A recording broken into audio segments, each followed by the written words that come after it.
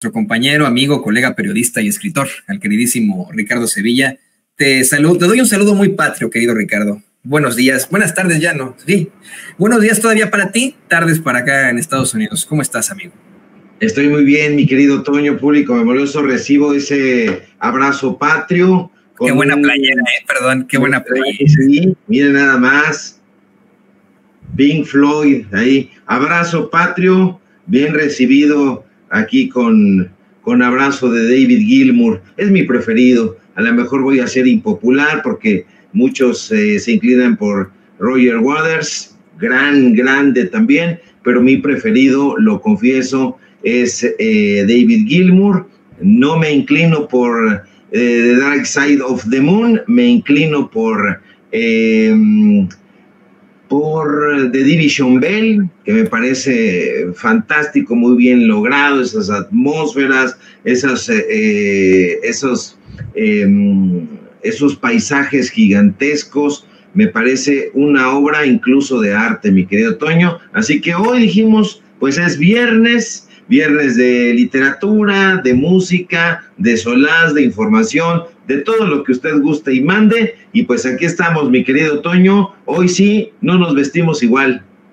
Pues casi, porque traigo yo aquí el negro también, la, playera negra de los rockerones. Fíjate que me di cuenta por ahí que hay una banda que se llama no, Midnight Autumn, Autumn Midnight, mexicana, que está rehaciendo muchas de las canciones de pop al, metal, al metal electrónico y, y techno, y que ha traducido grandes, grandes canciones de la banda Rammstein, que a mí me gusta mucho, por cierto, del alemán al, español, y bueno, te hace mucho más. O sea, todo, todos los que, a los que nos gusta, que no tiene nada que ver con Pink Floyd, por supuesto, no quiero ofenderte, ¿no? Pero eh, a todos los que nos gusta Rammstein, eh, eh, han, ah, pues hemos obviamente traducido las letras de Till Lindemann, ¿no? Que nos parece un gran, gran poeta, pero ya escucharlas en español con la voz de, este frontman de esta banda que se llama Autumn Midnight, creo que se llama así, em,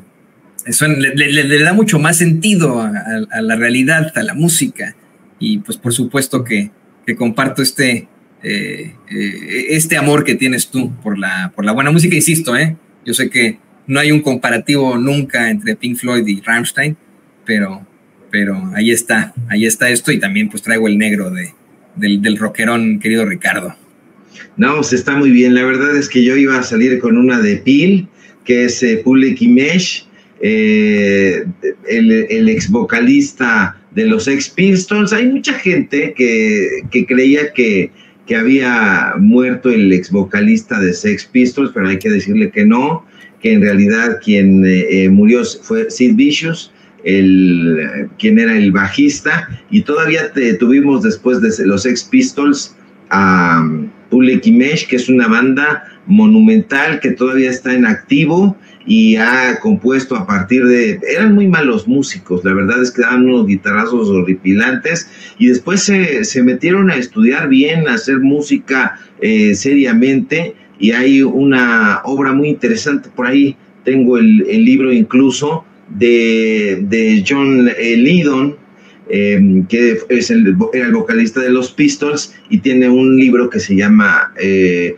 la, la Furia es energía, fantástico libro. Y pues bueno, ya tocará mi querido Toño platicar en algún momento del rock y otras rolas que será muy interesante porque forma parte también del gusto del público memorioso, porque el público memorioso, aunque lo desacredite Marco Levario y toda esta bola de babosos, es que está muy bien documentado y es lo que les, eh, les duele. No solamente está bien documentado, Toño, sino que además ha arrebatado el monopolio de los gustos literarios, de los gustos musicales, no solamente del periodista, del periodismo, porque ese es un tema muy interesante, pero quizá nosotros nos abocamos como medio al asunto periodístico, pero si tú te das cuenta, hoy ya no impera su gusto en, en eh, cinematográfico.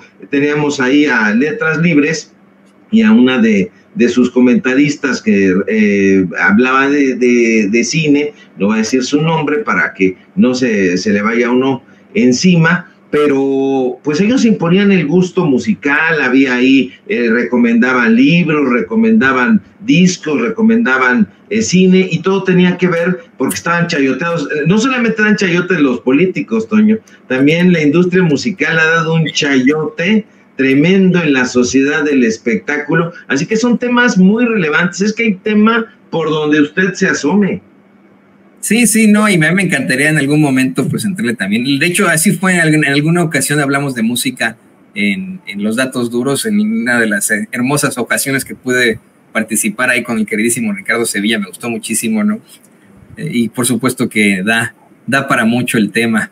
Pero qué bueno que mencionas, querido Ricardo, le voy a pedir al equipo que no, nos, no nos vaya a cortar ni nada. Qué bueno que mencionas cómo es que desde la derecha personajes extremadamente infames, pero sobre todo ignorantes, eh, atacan al pueblo, minimizan al pueblo, eh, ofenden y discriminan al pueblo. Y se cumple esta máxima que ha encabezado el presidente López Obrador una y otra vez en sus mañaneras, que él la disfraza un poquitito para que no suene tan vulgar. Él dice, tonto es, tonto el que piensa que el pueblo es tonto. No, no, la, la frase verdadera es pendejo el que piensa que el pueblo es pendejo. Hoy tu tema es muy fuerte. Eh, hoy nos vas a hablar, nos vas a dar testimonios de viva voz de la gente sobre las tristes experiencias que han tenido en ese poder judicial.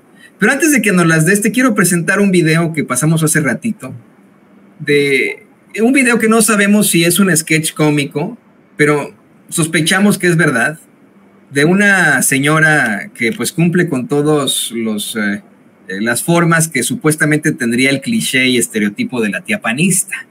Un video que es extremadamente ofensivo. Si usted no lo ha visto, usted está conectado con nosotros a Sin Censura en estos momentos, le, le pido que tenga discreción, pero que va muy de la mano con esta ofensa que se hace desde la ultraderecha hacia el pueblo, que es el que en algún momento volverá a votar por los políticos y luego de que esos políticos que hoy nos ofenden, en medio de una serie de mentiras, porque es que eso es lo peor, mentiras, descalificaciones, eh, cuando regresen a pedir nuestro voto, les vamos a, a pintar caracoles, evidentemente, ¿no? Mire usted.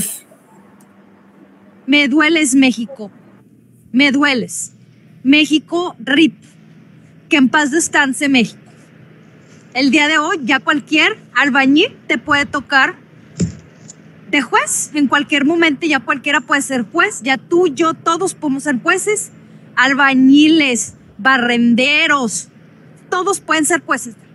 Qué tristeza de veras por los morenacos que estén haciendo tantas cosas horribles por la, por la independencia judicial. Que, qué triste que en septiembre México pierda su independencia.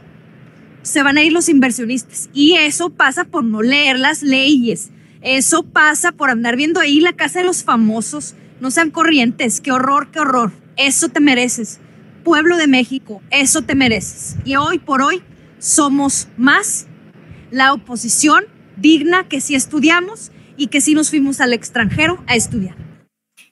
Te digo, no sé si sea un sketch cómico, ¿no? Porque pues en todo caso quien no habría leído es esta señora no leyó 44 páginas o menos, ¿no? Depende del navegador, que es eh, lo que implica la iniciativa de ley, la minuta de la reforma judicial, que deja claramente especificado que no cualquiera eh, podría ser juez, magistrado, ministro, impartidor de justicia, aunque si me lo permite usted, si me lo permite Ricardo, por supuesto que yo preferiría a un trabajador de la construcción, a un trabajador de limpieza, que a Luis María Aguilar, de ministro, que a eh, Line Spotisek, que yo name ¿eh? de verdad, que al, al eh, famoso ministro, famoso magistrado Gómez Fierro, por ejemplo, ¿no? Juan Pablo Gómez Fierro, por supuesto que prefiero antes que ellos a cualquier trabajador de la construcción, a cualquier, em, a cualquier trabajador de intendencia, pero, pero de todos modos, esta es una mentira de esta señora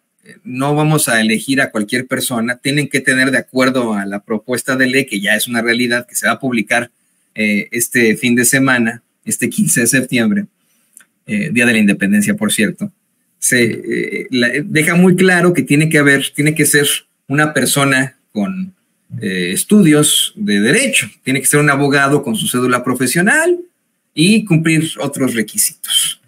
Ricardo, bueno, pues ahora sí, te, la dejo votando. Esta señora.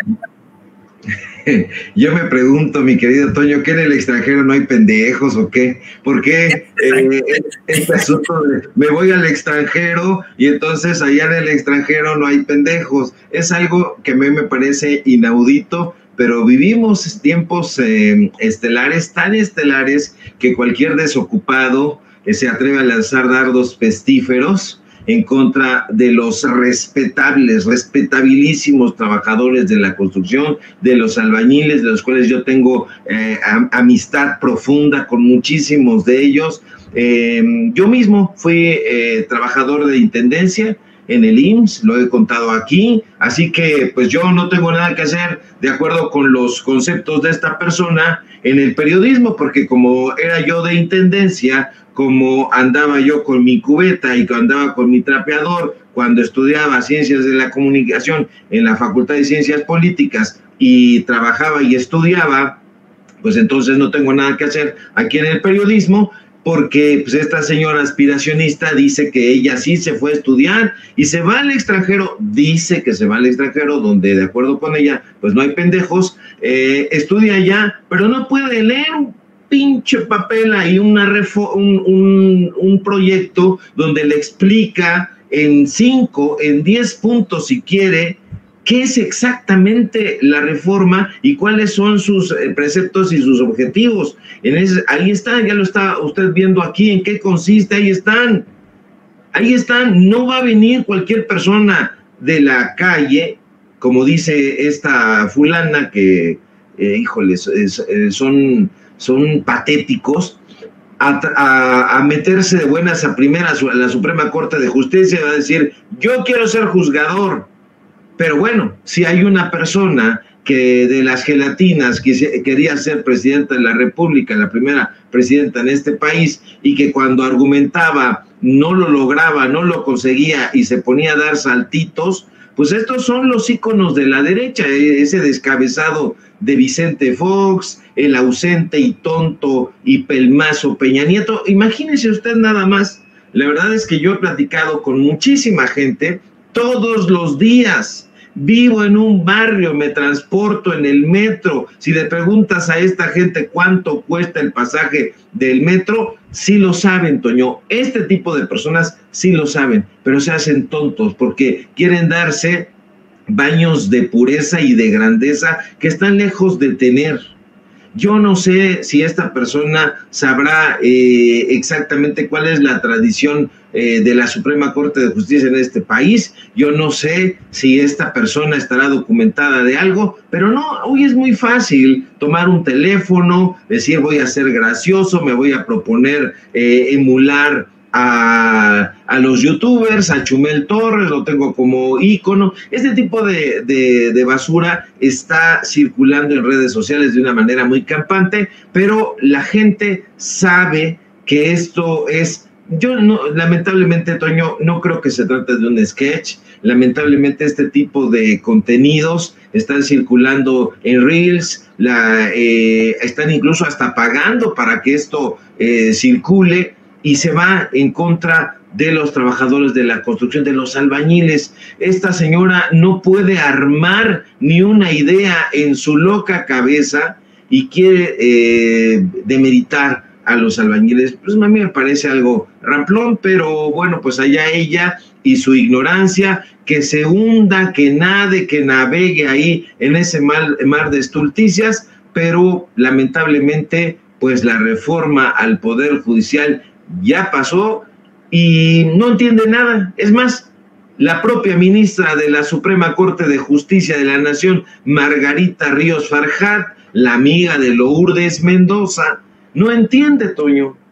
Entonces, ¿cómo le vamos a pedir a este personaje que acabamos de ver que comprenda la reforma al Poder Judicial si la propia ministra Margarita Ríos Farjat no entiende. Ella lo dice de propia voz, se lo, se lo dice ahí a un personaje de Radio Fórmula, a Leonardo Curcio, por cierto, se lo dice ahí en Radio Fórmula en la noche, ayer en la noche, Y fíjate, Ríos Farjad ha sido como el hijo, ¿no? Ya ve que la derecha está em, huérfana de ídolos y entonces cualquier personaje que salga a oponerse al gobierno del presidente López Obrador, cuarta transformación, o al segundo piso de la cuarta transformación, o todo lo que huela a la transformación, pues adoptan, ay, tú estás en contra de la transformación, a ti te cae gordo eh, López Obrador, a ti te cae gorda Claudia Sheinbaum, vente para acá, te adoptamos, ya ve, a sus ídolos han sido Reina Ide, ya de ese tamaño la tenemos. Pues bueno, adoptaron a Margarita Ríos Farjat, traidora al movimiento de la Cuarta Transformación, y la han traído de aquí para allá,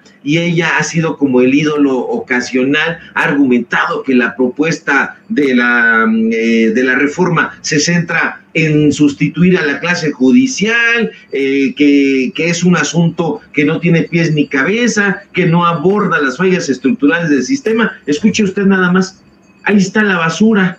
Y eh, yo le tengo un gran respeto a los amigos eh, que están recolectando la basura, pero este tipo de personajes no, los acallarían inmediatamente porque no hay esa cercanía, Toño. O sea, yo estoy persuadido de que los medios de comunicación, los comentócratas, eh, comentócratas y toda esta gente quisieran callar lo que está sucediendo alrededor y vivir en esa burbuja, ¿no? Imagínense nada más si Vicente Serrano acallara al organillero que está trabajando igual que él en el centro histórico o que nosotros le dijéramos, calle, por favor, no, la, la, campana no, porque ahorita estoy aquí en vivo. No, esa es la gente y ese es el sabor de los medios de comunicación eh, independientes que estamos transmitiendo no solamente desde el lugar de la noticia, que eso es obligación del periodismo, sino además desde el corazón del pueblo de México, Toño. Y esto no lo quieren ver. En fin, te decía yo de, Ríos Farjat, esta señora le tiene urticaria, como todos en la derecha,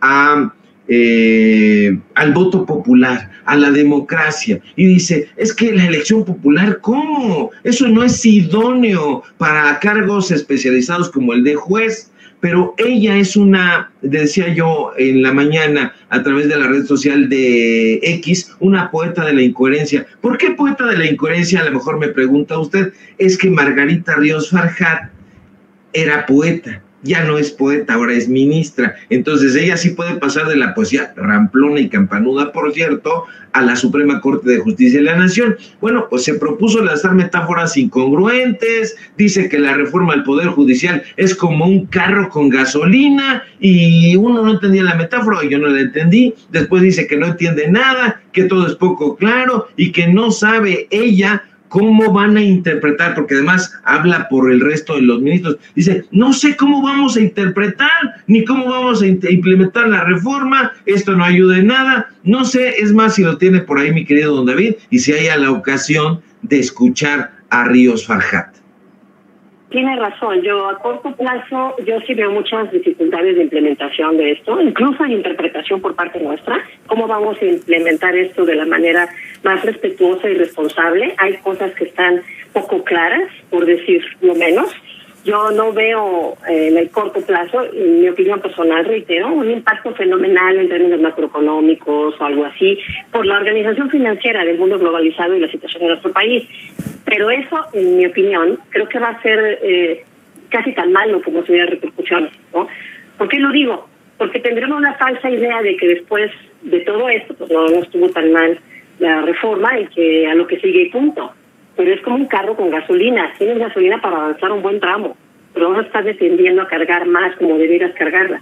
Avanzas un rato más, traes inercia, pero eventualmente habrá consecuencias. Aquí me parece que se corre el riesgo de que sea lo mismo eh, no veo forma de que esta ruptura del equilibrio constitucional no genere consecuencias a mediano y largo plazo. No queremos eso, por supuesto que no. Pero por ya quítela, mi querido don David, la verdad es que ya no la soporto y estas metáforas campanudas y lamentables del carro con gasolina, que si se te acaba la gasolina vas a tener consecuencias, pues claro que sí, si se te acaba la gasolina en un carro, pues vas a tener que detenerte a ponerle gasolina, pero la metáfora yo no la entendí para nada, pero ahí ha de ser una poeta, una poeta surrealista y a lo mejor yo no entiendo un bledo y ella entiende mucho más de lo que yo pudiera imaginar. Más allá de eso, lo que sí se acabó fue la gasolina, Toño, de estos corruptos, de estos personajes que ganan muchísimo dinero, y muchísimo dinero son eh, más de 700 mil pesos eh, mensuales y que ya se acerca diciembre y que se van a llevar más de un millón doscientos mil pesos y que pues ahorita ya dijeron que van a, levantar el paro, ya lo levantaron, pero todavía no, ya lo levantaron, lo anunciaron, pero todavía no van a regresar, van a regresar después del, fue, del puente, van a regresar hasta el día 17 y mientras estos días tranquilos, viernes, sábado, domingo, lunes y hasta el martes, cuatro días a ver si Lourdes Mendoza nos pudiera aportar algunas fotografías de dónde va a estar metida su amiga Margarita Ríos Farjat, porque sería eso la mar de revelador que nos pusiera una fotografía de dónde va a ir a, a, pasear o a comer esta juzgadora, que por cierto, Toño, en las páginas del Universal había dicho con bombo y platillo que si se aprobaba la reforma al Poder Judicial se iba, que iba a renunciar, que no tenía caso que estuviera ahí, pero mira, yo no uso eh, eh, reloj, no uso reloj, es más, ya se me había olvidado cómo se llamaba, que bueno que me acordaste, no usó reloj, pero les estoy esperando la hora en que la señora se marche, dice que no, que siempre no se va, se va a quedar ahí, como qué será, como la resistencia, como cómoda o solo por los 700 mil mensuales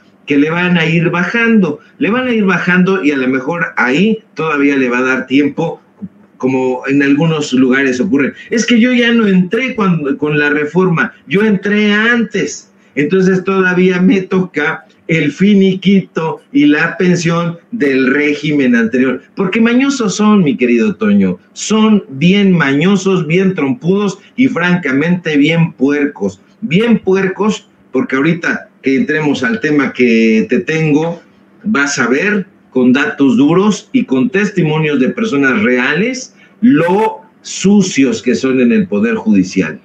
Déjame corregirte respetuosamente, querido Ricardo. No es su amiga, la ministra Margarita Ríos Farjat, no es amiga de Lourdes Mendoza, es su jefa, porque como es su jefa de, de, de información, ¿no? Es eh, ahí en la redacción, la jefa de información, Margarita Ríos Farjat, poeta también, a quien le manda sus columnas para que se las cheque. Entonces, amiga no es, es su jefa de información, Ricardo. Aguas, aguas con eso. Pero me parece fantástico, le pido al equipo que nos grabe.